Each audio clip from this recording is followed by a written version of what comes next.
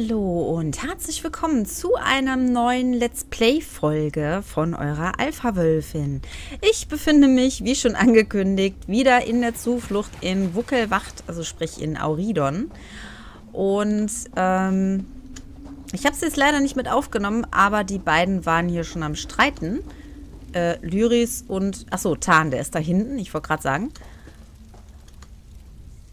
Die Zeit für einen weiteren Vorstoß ins Reich des Vergessens ist gekommen, Entseelte. Es gilt noch, einen letzten Verbündeten zu retten. Seiße Hahn. In der Tat. Abnor Tarn und ich haben meditiert, Hellsichtzauber gewirkt und über Manimarkos Aufzeichnungen gebrütet. Und schließlich haben wir den Standort der Hallen der Qual ausgemacht. Wie lange hält man Seiße Hahn dort schon gefangen? Unser Freund hat zwei Jahre lang unvorstellbare und immerwährende Folter erdulden müssen. Sehr viel länger, als ein Sterblicher so etwas jemals erleiden sollte. Aber Saisahan ist deutlich mehr als ein einfacher Sterblicher. Er ist ein Abkömmling Lekis, der yokudanischen Schwertheiligen. Dann müssen wir ihn finden, und zwar schnell. Wir mussten den genauen Standort der Hallen erst noch ermitteln, in denen Sai gefangen gehalten wird. Nun, da dies geschafft ist, werde ich ein Portal für euch öffnen. Werde ich alleine gehen? Lyris und Abnur haben zwar beide zugestimmt, euch zu begleiten, aber ich fürchte, ihre gegenseitige Abscheu würde euch die Arbeit nur erschweren. Sprecht mit ihnen und hört euch an, was sie anzubieten haben. Aber ihr müsst euch für einen von beiden entscheiden. Und ich weiß auch schon, für wen. Ihr seht verdutzt aus. Was für undurchschaubare Rätsel hat Waren jetzt wieder von sich gegeben? Er sagte, dass sich nur einer von euch mir anschließen kann. Hat er das? Ein überraschend guter Rat. Titanenkind und ich würden uns wohl eher gegenseitig umbringen, als dass wir eine echte Hilfe wären. Die Entscheidung liegt bei euch, aber ich würde euch raten, den Verstand den Muskeln vorzuziehen. Ich habe wertvolles Wissen über die Dädra und vergesst nicht, ich bin der Magier. Und das, also darum geht es im Endeffekt auch, weil er würde dann den Fernkampf wählen. Ähm, ich glaube, er würde auch ein bisschen heilen, ich bin mir nicht sicher.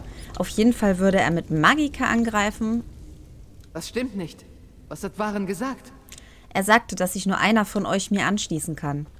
Dann ist eure Entscheidung klar. Ich kenne Saisahan länger als jeder andere. Ich sollte mit euch gehen. Es ist eure Entscheidung. Aber ihr sollt wissen, dass ich mein Leben für euch oder für Sai geben würde. Würde Tarn das auch tun? Da ich das immer mache, ich weiß zwar auch, äh, was Tarn für Sprüche loslässt, wenn wir ihn mitnehmen, aber da ich das immer mache, werde ich Lyris auswählen. Ich will euch an meiner Seite, Lyris. Vielen Dank. Ihr werdet es nicht bereuen. In den Sklavengruben Kalthafens sprachen die Beraubten nur flüsternd von den Hallen der Qual. Wenn ich daran denke, was Sai wohl durchmacht. Wir werden ihn zurückbringen. Oder bei dem Versuch sterben. Geht mit Lyris. Rettet Sai Sahan aus den Hallen der Qual.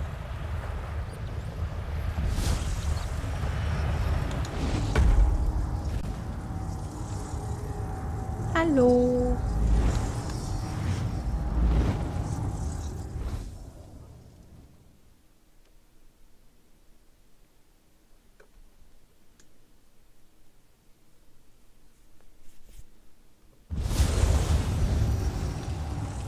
Das Amulett der Könige?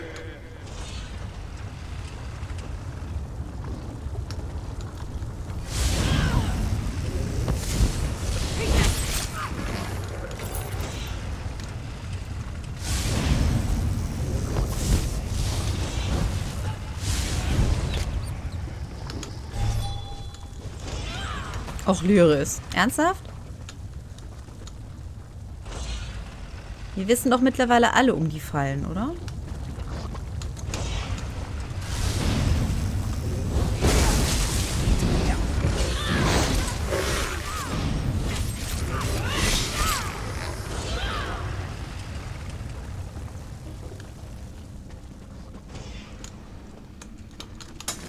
Hier muss man immer so ein bisschen die Augen offen halten. Was macht er hier? Wo ist das Amulett der Könige? Sagt es mir, oder ich werde euch mit eurem eigenen Schwert aufschlitzen. Seht ihr, wie einfach es ist, ein Schwertsänger zu werden, Sire?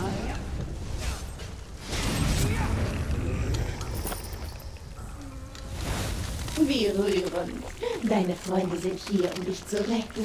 Schade, dass sie zu spät gekommen sind. Es ist Zeit für die nächste Runde Qualen. Du wirst es genießen. Hier habt ihr dann wieder die Möglichkeit, ähm, ja, ein bisschen was zu leveln, gerade auch in Sachen Bücher.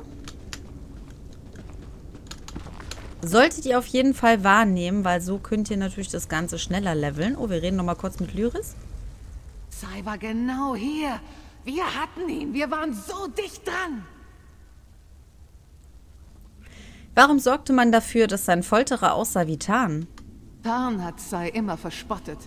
Er machte ständig Witze auf seine Kosten. Sai hat nie darauf reagiert, aber ich weiß, wie tief es ihn getroffen hat. Die Daedra müssen das gespürt haben. Aber ein Gutes hat das Ganze. Es hat wesentlich mehr Spaß gemacht, einen Doppelgänger zu erschlagen, der aussieht wie Tarn. Was war das eben über das Dasein als Schwertsänger? Die Schwertsänger sind legendär. Sie waren eine Gruppe rotvardonischer Schwertmeister, die in der ersten Ära vom yokudanischen Kaiser Hira ausgelöscht wurden. Sahan verbrachte Jahre mit dem Versuch, ihre verlorene Kunst wieder aufleben zu lassen, doch er hatte keinen Erfolg. Das betrachtete er als sein größtes Scheitern. Der Doppelgänger missbrauchte also dieses Scheitern, um ihn zu peinigen? Und er nahm Tarns Gestalt an, weil dieser ein vertrauter Rivale war, den Sai insgeheim verabscheute. Stellt euch nur vor, wie es sich anfühlen muss, mit anzusehen, wie der eigene Erzfeind Erfolg hat, wo man selbst gescheitert ist. Ich kann mir nichts Schlimmeres vorstellen. Dann komm, Lyris. Wir gehen sofort weiter. Wir gucken nur noch mal kurz nach ein paar Büchern.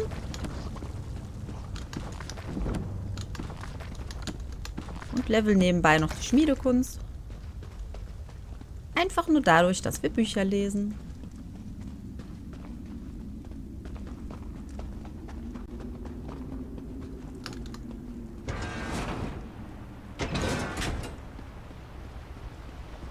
Es scheint, als hätten wir unerwünschten Besuch in den Hallen der Qual. Dann wollen wir ihn einmal willkommen heißen, ja?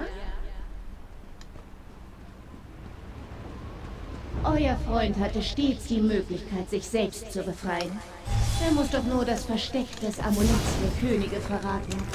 Dann könnt ihr alle fröhlich eure ziehen. Denn ihr werdet die Hallen der Qual nicht lebend Sagt verlassen. mir einfach, wo das Amulett ist, und wir können für immer zusammen sein. Wo ist das Amulett der Könige?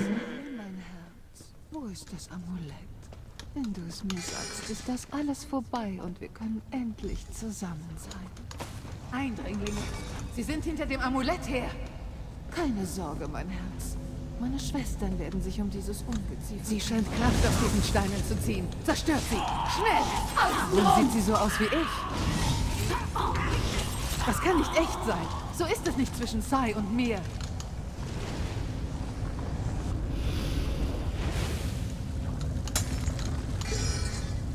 Natürlich ist das nicht echt Lyris, weil das ist ja alles, äh, ja, eine Erscheinung. Jetzt haben sie uns glatt die Stimmung verdorben. Von den Seiten!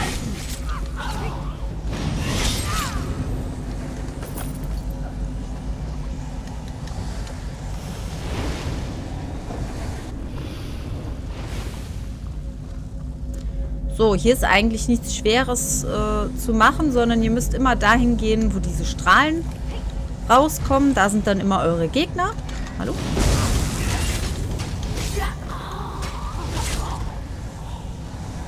Und da müsst ihr dann dementsprechend immer diese abgeschirmten Steine ja, benutzen, so wie es hier steht.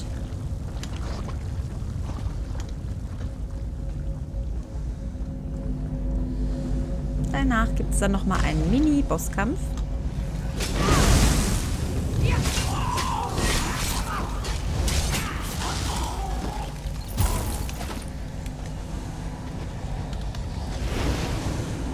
Übrigens, ich habe jetzt ähm, meine Levelrüstung angelegt auf Level 16.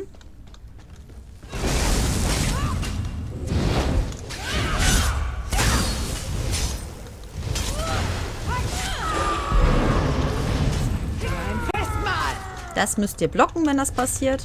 Hallo. Machst du auch mal was? Wie oft muss ich denn hier draufdrücken? Schon wieder zu spät. Komm, mein Tierchen. Zeit für deine nächste Sitzung.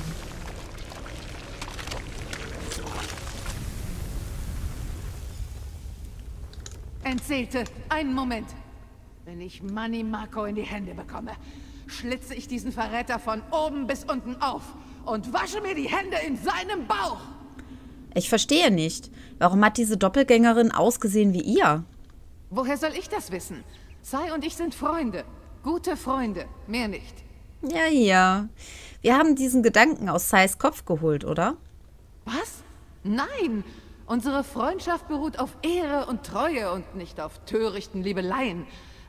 Es. Es tut mir leid. Ich wollte euch nicht so anblaffen.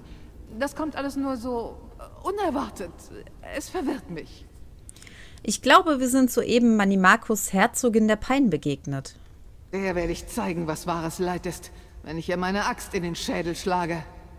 Lasst uns weitergehen. Und hört zu. Behaltet diese ganze Sache bloß für euch. Ich brauche etwas Zeit, um herauszufinden, was das genau bedeutet. Ja, ja. Ähm, wir müssen in die andere Richtung, ne? Nein, wir müssen in die Richtung, glaube ich. Hoffe ich. Dass wir jetzt hier richtig rumlaufen. Genau, das ist nämlich nicht da, wo wir gewesen sind.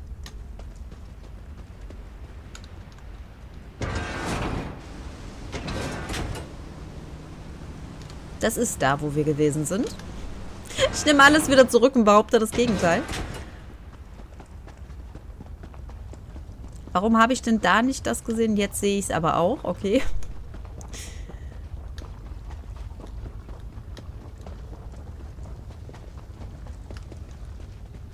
Wir bekommen nicht viel Besuch hier in den Hallen der Qual, aber wir haben immer Platz für ein paar neue Dauergäste.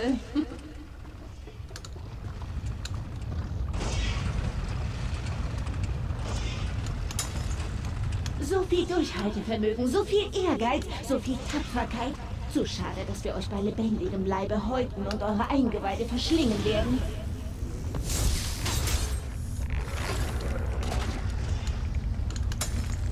Lyris, steckst du noch in den Fallen oder kommst du mit?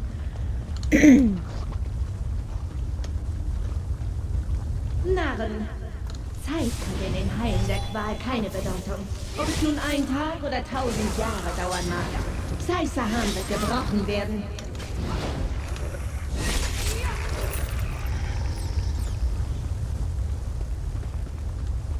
So. Nein, was war da drin? Okay, das brauchen wir jetzt alles nicht mehr.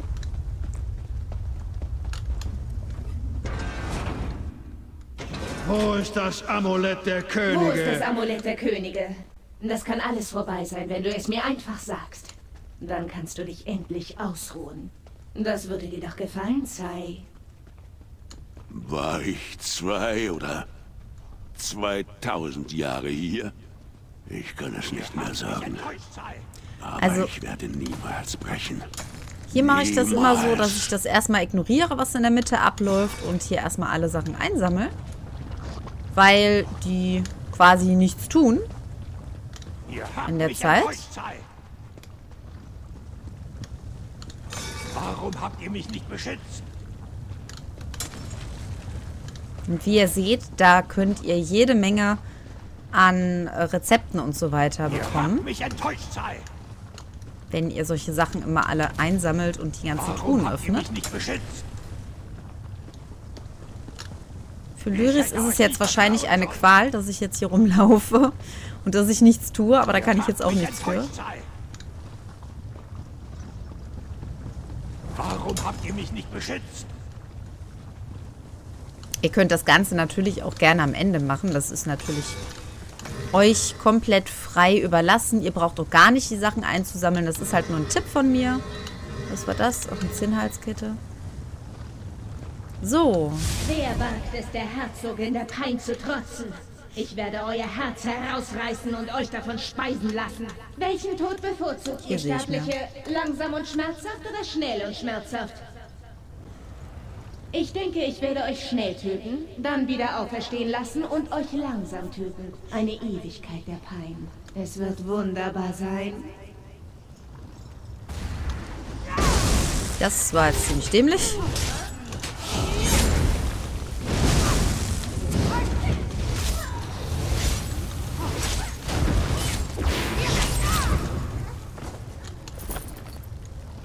Sai. Sai hat Schmerzen. Löst seine Fesseln. Schnell. Ja, ich bin ja schon dabei. Ich kann aber nicht mit ihm reden, weil du im Weg stehst. Ich kenne euch nicht. Warum seid ihr hier? Wer hat euch geschickt? Waren schickt mich. Ich bin eine Freundin. Der Kaiser? Er lebt. Dieser Tag ist wirklich voller Wunder. Haben sie euch gezwungen, preiszugeben, wo das Amulett der Könige ist? Sie haben mich viele Monate, vielleicht sogar Jahre gefoltert. Aber meinen Eid habe ich nie gebrochen. Das Amulett ist sicher verborgen. Könnt ihr gehen? Wir müssen hier verschwinden. Meine Kraft kehrt zurück. Geht voran. Ihr habt es geschafft, erzählt. Bringt ihn schnell durch das Portal. Nö, wir gehen mal alleine.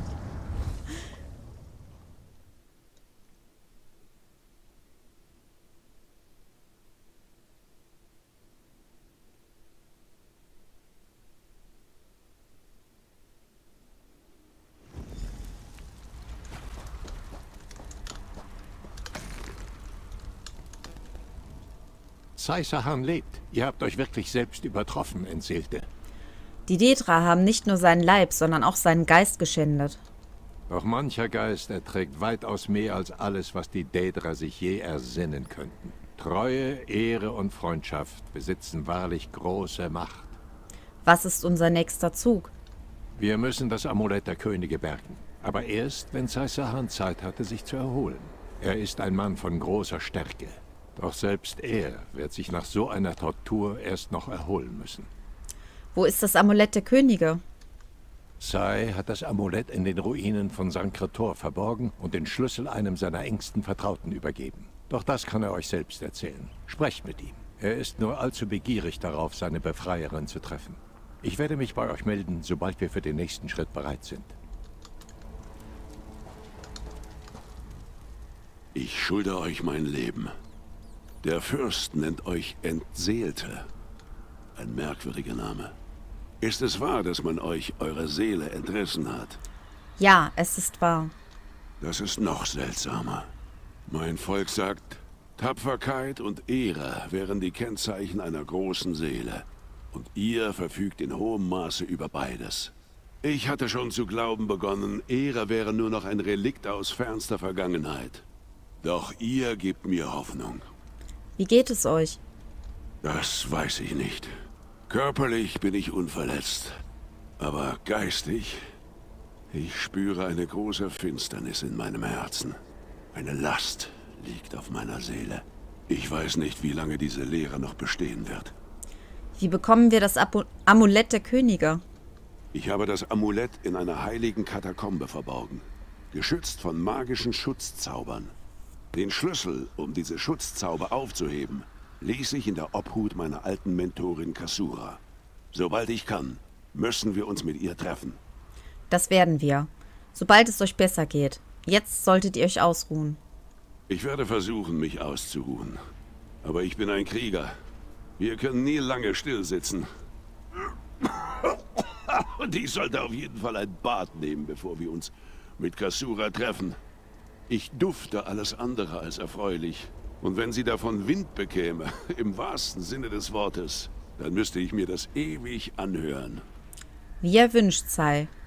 Der Pfad vor uns ist finster. Doch ich finde Freude in dem Wissen, dass ich diesen Pfad mit meinen Freunden beschreiten werde.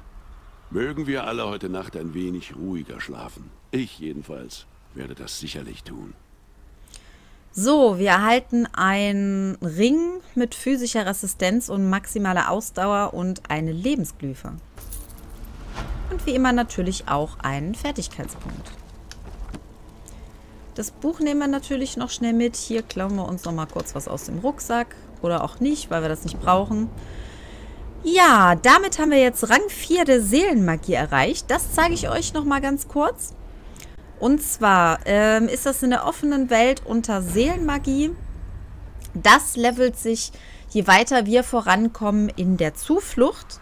Da gibt es dann am Ende, wenn wir Rang 6 erreicht haben, also sprich, wenn wir die Zuflucht beendet haben oder beziehungsweise diese ganze Hauptgeschichte hier beendet haben, dann können wir den Seelenschlag freischalten. Das ist eine, wie ich finde, doch recht geile Ulti. Die braucht jetzt fünf Sekunden, ähm, bis die einsatzfähig ist. Ich glaube, das geht nochmal runter, je höher die levelt. Ich bin mir jetzt nicht sicher. Oder nur der Schaden erhöht sich. Und macht alleine jetzt schon einen Schaden von 53.550 Magieschaden bei mir. Also das wäre wirklich krass. Und dann gibt es noch den Seelenbruch. Wenn unser Leben unter 20% fällt, explodiert die Seele und wir fügen Schaden zu innerhalb von 8 Metern. Und wir können hier Punkte reinstecken, dass wir uns zweimal aktuell ähm, einmal alle zwei Stunden wiederbeleben können, ohne einen Seelenstein zu verbrauchen. Ist jetzt nicht so wichtig, aber wenn ihr ähm, oft sterbt, dann könntet ihr da zum Beispiel Punkte reintun und tötet ihr einen Feind mit einer Waffenfähigkeit. Können wir nicht. Ähm, äh, können wir schon, aber ähm, ist für mich jetzt nicht so interessant. So besteht eine Chance von 5%, dass ihr automatisch einen leeren Seelenstein füllt. Ja, das ist das, was wir jetzt noch dazu bekommen haben. Ich verabschiede mich auf jeden Fall erstmal für heute von euch und hoffe, wir sehen uns in der nächsten Folge wieder. Bis dann. Ciao.